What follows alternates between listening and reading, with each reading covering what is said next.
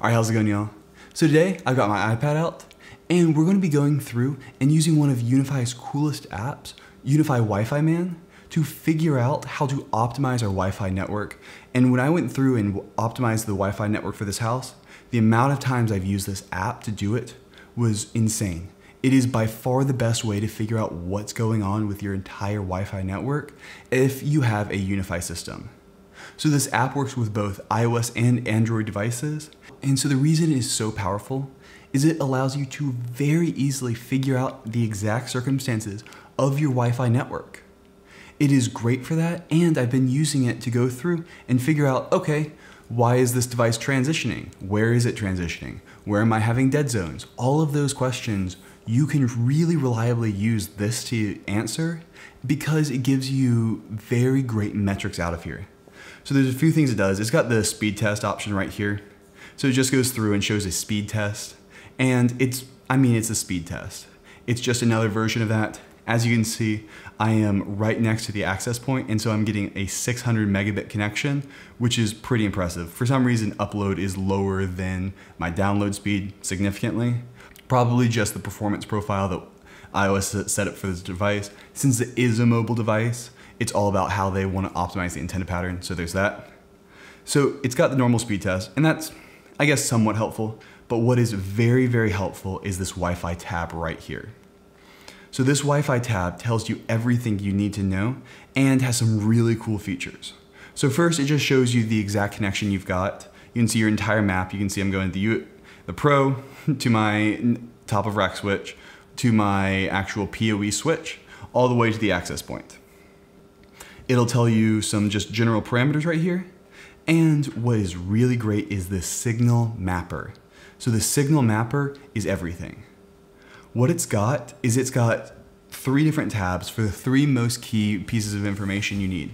First off, signal strength. So signal strength is really crucial anytime you're trying to set up a roaming because signal strength is the metric that almost all devices use. I know all iOS devices use to figure out whether or not they should roam or not. And so Apple was nice enough to go through and write a very helpful article on exactly how roaming works on iOS. And so this article is a great read for anybody who's trying to figure out how to get really good roaming for iOS devices. And so if you're an iOS kind of family, this is by far the most important thing for roaming because computers don't really roam nearly as much as phones and iPads do because they're not nearly as mobile phones and iPads are often actually roaming between multiple Wi-Fi access points. Say you're just on a call, a FaceTime call with somebody, and you're walking around, that is actually when your phone will be roaming in between towers, and you don't want it to go through and accidentally drop a few frames of video because it's roaming. And so right here is the actual article that goes over how roaming works on iOS. And so effectively, anytime a device reaches below 70 dBm, of signal, it'll go through and start looking out for new networks to join roaming with. And so that's one important thing whenever you're looking at WiFiMan, is figure out where that 70 dB location is for your devices. And so the other thing about Wi-Fi and overall just signal is so much of it is not actually based off of how powerful the signal is in the room, but just simple orientations and things like that. So if you turn a device or you put it on the ground or anything like that, you can have a 10 dB jump in signal just because you're maybe covering up the antenna in a weird way. And so don't worry about getting exactly to 70 dB, but that is roughly what you should be seeing. And so if it's at like 60 dB, you're not gonna have roaming then. Then there are effectively two different ways that it chooses to roam. So after it reaches 70 dB of signal, it'll go through and do this roam scan, and that's just normally figuring out, hey, who is out there? And there is also another way that Apple has implemented, and I've not been able to verify if UniFi does this or not, where there's a protocol that allows your iPad or iPhone to ask UniFi, hey, where are the most powerful networks? Which signals should I look for next? And so that's the 802.11k profile. I've looked through all of UniFi's articles and I've not seen anything that says they do or do not support that. But effectively what that would be is UniFi would actually go through and tell iOS, hey, these are your best candidates for selection. And so that way the actual radio in the iPad or iPhone would not have to go through and do its own channel scan. So that, that's just one thing. I've not seen that and I don't know if they implement that. But if they do not, it goes through at 70 dB and it'll start looking out for other Wi-Fi networks that have the same name, basically other access points that I can choose from. And then once it's done with that, it goes through and has two different options for what it does.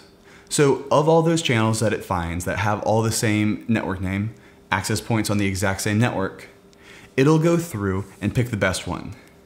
If it is currently accessing data, so if you're on a FaceTime call, if it's downloading something, yada, yada, yada, if that device has a signal strength that is 8 dB higher, then it will roam to the new one. But if you're not sending or receiving data, to keep you from roaming just constantly for no reason, it will go through and it will require a 12 dB signal gain to go through and start the roaming process. And so that is really important information for you to know when you're trying to figure out roaming. And you just have to look at your exact phone manufacturer's information and see if they also have a similar white paper if you're not using iOS devices. So the other thing is you want to make sure to enable fast roaming if at all possible because fast roaming through UniFi can allow that authentication to happen very quickly. It's not nearly as big of a deal for home environments where authentication still takes in the millisecond range, but for actually getting the best roaming performance, you want to try to enable fast roaming, but as soon as you start having weird issues, go ahead and disable it because it's probably not worth it. But it is something you should try to enable if at all possible. All right, so now that we know that our, our threshold is 70 dB, we can now use this to really understand what we're doing. So we want to check for times that our signal drops below 70 dB and then roaming should occur. And as you can see, just simply moving this around, we can have insane signal ups and downs depending on exactly what's covered. And so that's sometimes a good thing because having those dropouts will mean that the iPad will go through and say, oh, hey, is there anybody closer? In this case, there's not because my closest access point's right there. But if you're in kind of questionable areas, then that's what'll happen. All right, and so now there's also the great tab of throughput. And as you can see, this app is sometimes glitch. I'm gonna go ahead and quit it and reopen it. If you have it closed for too long, weird stuff starts happening and it crashes a lot. But when it works, it's awesome. So the throughput tab is great to understand what kind of performance you should expect in this area. It's not necessarily crucial for roaming, but it's crucial for understanding in real world metrics how good your Wi-Fi performance is in a given location. And so it's the one I use of like, is it worth it to put another Wi-Fi access point in this room? They've got 200 megabit connection. It's not that big of a deal. And then finally, stability. So stability comes from how stable the signal is, and it's essentially a ping in milliseconds and how much jitter you have on the network.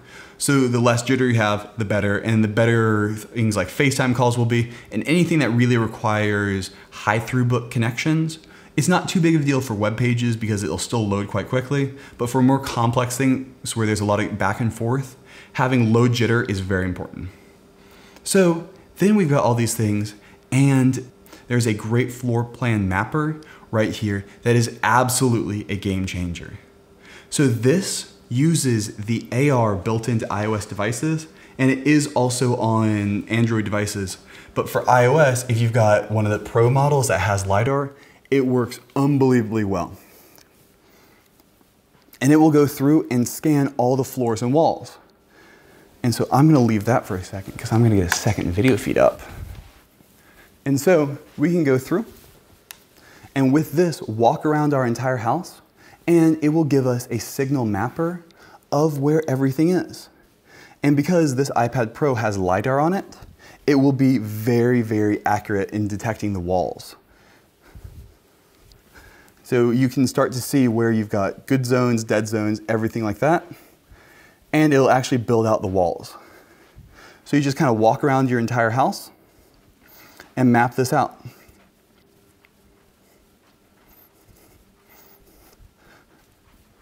So now we can start to see where you're dropping lower.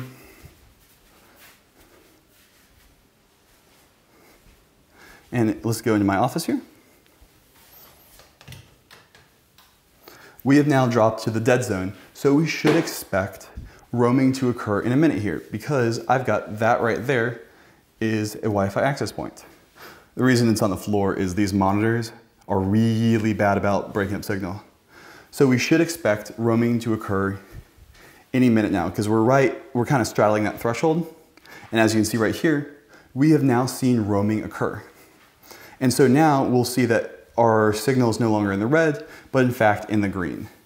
And so it's a great way of understanding roaming and where all of those points are. And I've been using it all the time for this. And you can see, okay, so now it's actually poorer performance because we are now connected still to the Wi-Fi access points in my office. So we should see that it'll start dropping over here in a bit. Wow, it's sticking to that. And there, roaming has just occurred.